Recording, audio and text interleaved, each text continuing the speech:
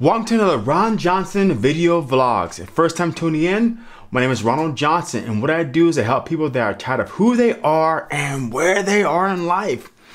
Boom! Remind me of Denise. So today's topic is personality and character strengths can be de developed.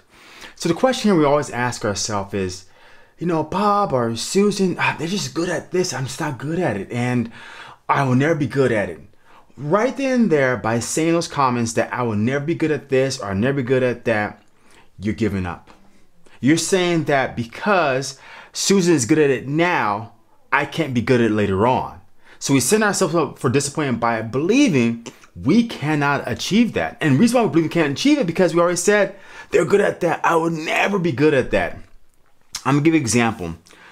Years ago growing up, I just did not like writing. I didn't pass English. I did a C or maybe a B minus if I was lucky. I did not like Shakespeare. I did not, not like Othello. So my idea was then, based upon my teachers told me, is I was bad at writing. I didn't get there, there correct, the comma, the exclamation point. That was not, you know, I wasn't good at it. So now, as an adult, it became, oh, I'm just not good at English. Oh, I'm just not good at that.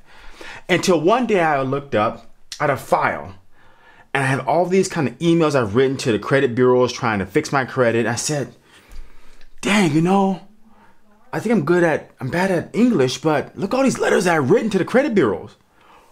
Boom, it clicked on me. I am good at English. Hey, it may not be the best.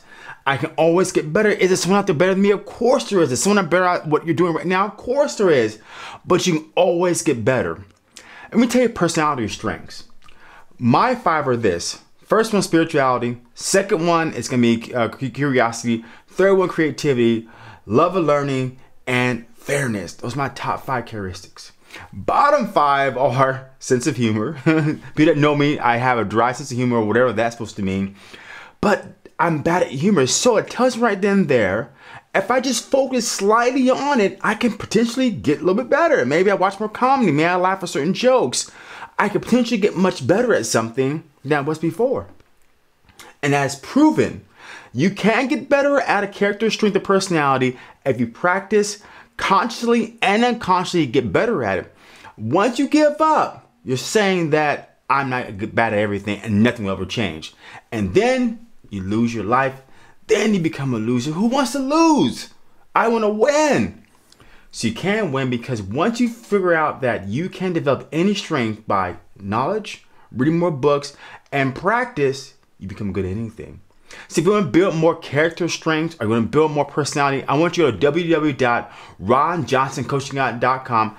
Bing, hit on the discovery call button, call with me through Zoom, or Bing, hit that join my masterclass program and let's connect. Let's just figure out what's going on in your life so that way you can build a better relationship with yourself and everything around you. I want to say again, thanks for listening.